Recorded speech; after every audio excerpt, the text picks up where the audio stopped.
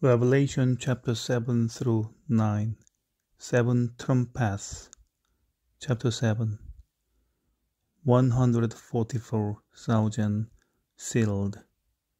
The great multitude in white robes. 8. The seventh seal and the golden censer. The trumpets. 9. Fifth and sixth trumpet.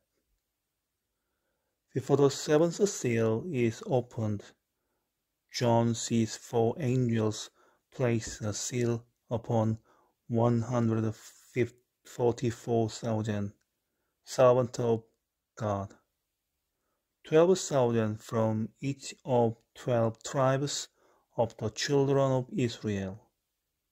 In contrast to their carefully numbered multitude, John next sees a great multitude which no one could number, taken from all nations and kindreds and people and tongues.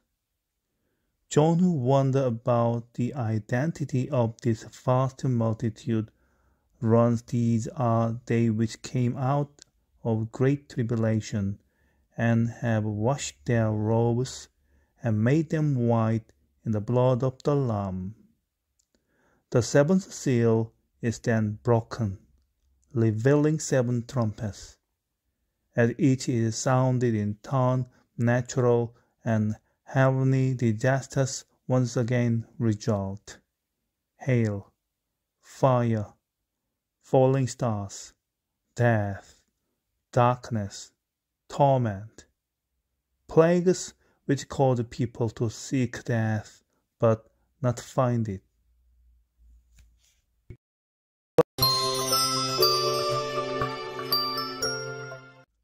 Revelation chapter 7 After this, I saw four angels standing at the four corners of the earth, holding back the four winds of the earth to prevent any wind from blowing on the land, or on the sea, or on any tree. Then I saw another angel coming up from the east, having the seal of the living God. He called out in a loud voice to the four angels who had been given power to harm the land and the sea. Do not harm the land or the sea or the trees until we put a seal on the foreheads of the servants of our God. Then I heard the number of those who were sealed. A hundred and forty-four thousand from all the tribes of Israel. From the tribe of Judah, twelve thousand were sealed. From the tribe of Reuben, twelve thousand. From the tribe of Gad, twelve thousand. From the tribe of Asher, twelve thousand. From the tribe of Naphtali, twelve thousand. From the tribe of Manasseh, twelve thousand. From the tribe of Simeon, twelve thousand. From the tribe of Levi, twelve thousand. From the tribe of Issachar, twelve thousand. From the tribe of Zebulun, twelve thousand. From the tribe of Joseph, twelve thousand. From the tribe of Benjamin, twelve thousand.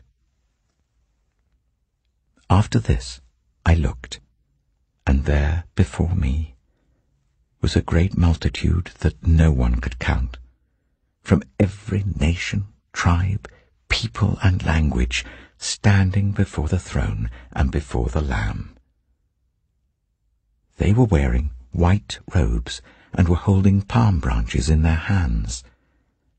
And they cried out in a loud voice, Salvation belongs to our God who sits on the throne and to the Lamb. All the angels were standing round the throne and round the elders and the four living creatures. They fell down on their faces before the throne and worshipped God, saying, Amen. Praise and glory and wisdom and thanks and honour and power and strength be to our God for ever and ever. Amen. Then one of the elders asked me, These in white robes, who are they, and where did they come from?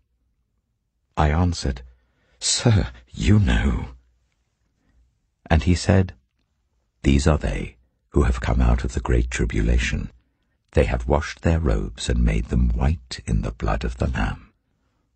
Therefore, they are before the throne of God and serve him day and night in his temple, and he who sits on the throne will shelter them with his presence. Never again will they hunger, never again will they thirst. The sun will not beat down on them, nor any scorching heat. For the Lamb at the center of the throne will be their shepherd.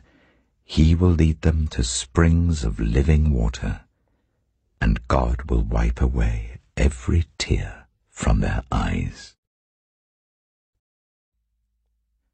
Revelation chapter 8 When he opened the seventh seal, there was a silence in heaven for about half an hour. And I saw the seven angels who stand before God, and seven trumpets were given to them.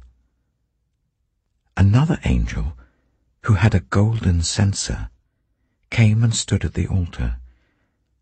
He was given much incense to offer with the prayers of all God's people on the golden altar in front of the throne.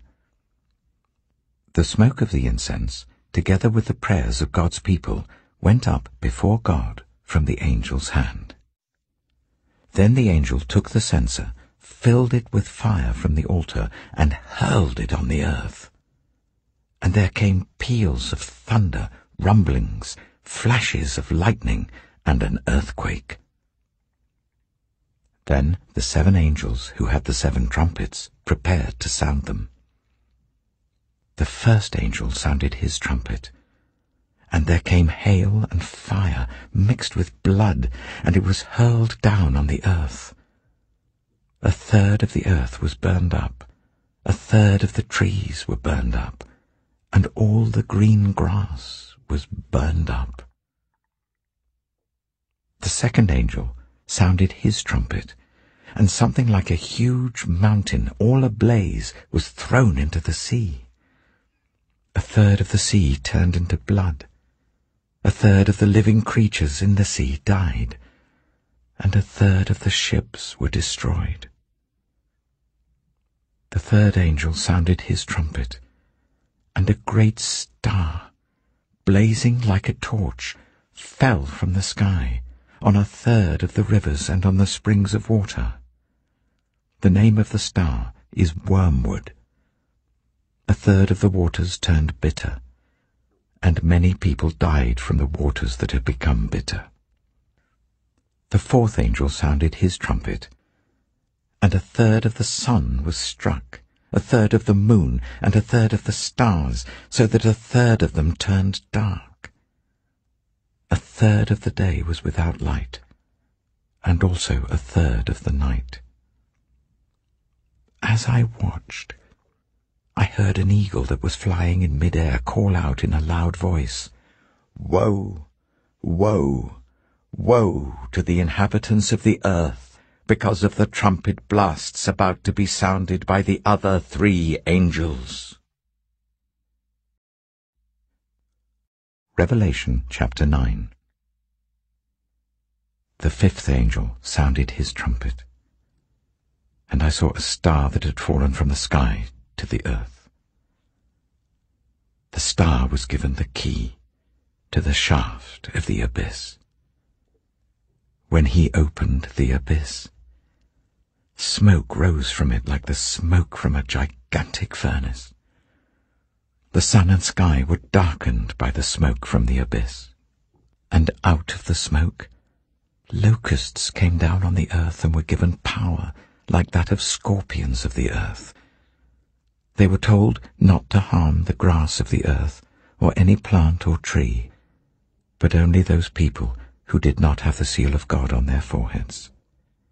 They were not allowed to kill them, but only to torture them for five months and the agony they suffered was like that of the sting of a scorpion when it strikes. During those days people will seek death, but will not find it. They will long to die, but death will elude them. The locusts looked like horses prepared for battle. On their heads they wore something like crowns of gold, and their faces resembled human faces Their hair was like women's hair, and their teeth were like lions' teeth. They had breastplates like breastplates of iron, and the sound of their wings was like the thundering of many horses and chariots rushing into battle. They had tails with stings like scorpions, and in their tails they had power to torment people for five months. They had as king over them the angel of the abyss, whose name in Hebrew is Abaddon, and in Greek is Apollyon, that is, destroyer. The first woe is past. Two other woes are yet to come. The sixth angel sounded his trumpet, and I heard a voice coming from the four horns of the golden altar that is before God. It said to the sixth angel who had the trumpet, Release the four angels who are bound at the great river Euphrates. And the four angels who had been kept ready for this very hour and day and month and year were released to kill a third of mankind. The number of the mounted troops was twice ten thousand times ten thousand. I heard their number. The horses and riders I saw in my vision looked like this. Their breastplates were fiery red, dark blue, and yellow as sulphur. The heads of the horses resembled the heads of lions, and out of their mouths came fire, smoke, and sulphur. A third of mankind was killed by the three plagues of fire, smoke, and sulphur that came out of their mouths. The power of the horses was in their mouths and in their tails, for their tails were like snakes having heads with which they inflict injury. The rest of mankind who were not killed by these plagues still did not repent of the work of their hands. They did not stop worshipping demons and idols of gold, silver, bronze, stone, and wood, idols that cannot see or hear or walk. Nor did they repent of their murders, their magic arts, their sexual immorality, or their thefts.